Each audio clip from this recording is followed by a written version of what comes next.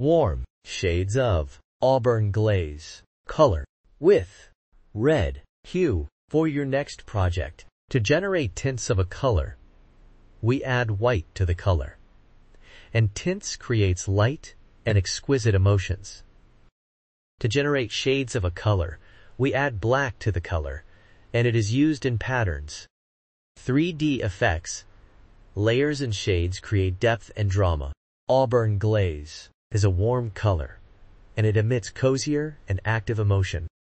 Warm colors are symbols of warmth, fire, heat, and sunshine. It also evokes joy, passion, love, and even anger emotions. You can see them used in restaurants and gyms,